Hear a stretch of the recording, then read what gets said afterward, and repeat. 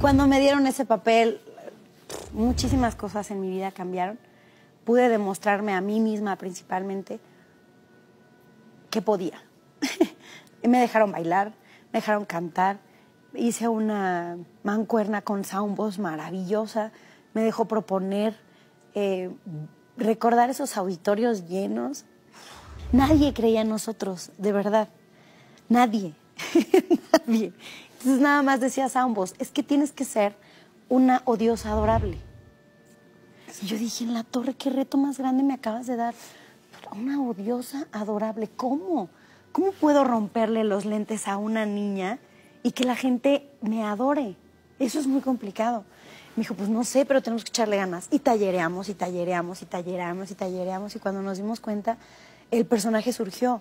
Que de hecho después quitármelo, después de dos años, fue bien difícil. Porque haz de cuenta que me ponía reflectores, luces y Antonella surgía por sí misma. o sea, tenía vida propia. Entonces tuve que agarrarme de mi hermana que me ayudaba muchísimo entonces y le decía, si la ves salir, avísame para que yo haga ahí un cambio. Que también esa es otra persona a la que le debo la vida y ese señor este, Juan Osorio. Porque después del boom que fue, yo decía, es que yo no me quiero quedar con el papel de Antonella toda mi vida. Creo que las épocas en donde podía surgir una güereja o un este Chabelo o un Huicho Domínguez o todas estas cosas que se quedaban de, para la eternidad. Creo que esa época ha pasado. Y decía yo, no, yo quiero hacer muchos personajes en mi vida, muchos. Él fue el que me vio dentro de todo eso y dijo, ven, y vas a ser una fresa también. Una familia con suerte. Me dijo, y vas a ser una fresa también, pero necesito que demuestres que puedes.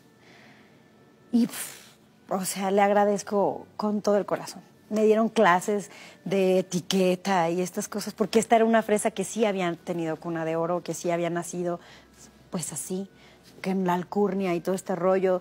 Este, tenía que ser mucho más sobria, además de que tenía que verme con más edad, porque también en, en Atrévete a Soñar, pues era una chavita de 14 años. Entonces tenía que buscar ya verme por lo menos de 24, por lo menos de 22.